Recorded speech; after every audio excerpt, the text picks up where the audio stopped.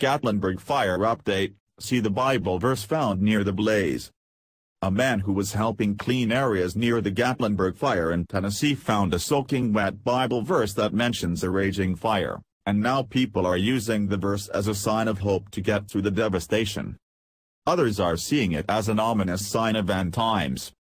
The devastating blaze has swept through the Tennessee resort towns of Sevier County, devouring homes and businesses and killing three people as it burned through 15,000 acres. Officials have said it was human-caused without being more specific, said CNN.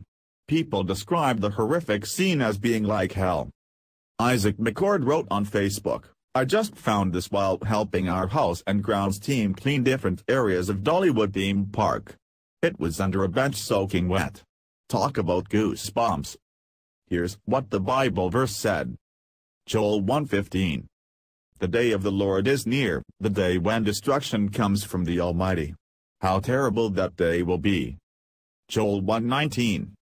To you, Lord, I call, for fire has devoured the pastures in the wilderness and flames have burned up all the trees of the field. Joel 1:20. Even the beasts of the field pant for you because the water brooks are dried up, and fire has devoured the pastures of the wilderness and at the bottom barely visible is Joel 1.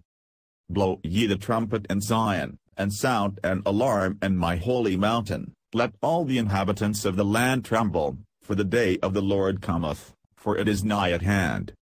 McCord concluded his post hash pray for Gatlinburg. The comment thread filled with comments from people who were moved by the find. Some examples. Praise be to God for his will we do not understand, but he loves us enough to let all know of his return soon to come.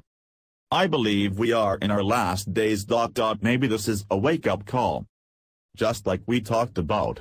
God speaks to us in many different ways and through many different people.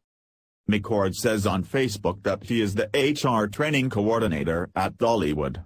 After more than 113,000 people shared his post on Facebook about the Bible verse, McCord posted about it again, writing, I want to take a moment to thank those who have played an integral part in spreading hope and faith during such tragedy.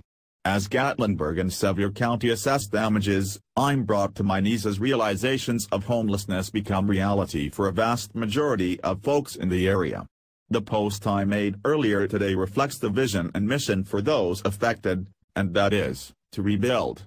The community and surrounding counties are very resilient in their ability to persevere in times of great struggle, and I pray that everyone join together in bringing this to life. We need you more than ever.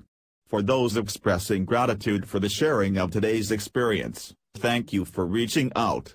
It means the world to me to see such kind and loving comments come in from all over the country.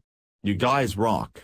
For those wishing to aid in the fight whether by donation or volunteer work, please contact Red Cross at 1-800-RED Cross, 1-800-733-27677. Source of this article is Heavy.com, by Jessica McBride 2016 updated 1 a.m. EST. November 30, 2016. Thanks for watching. Be happy. Goodbye.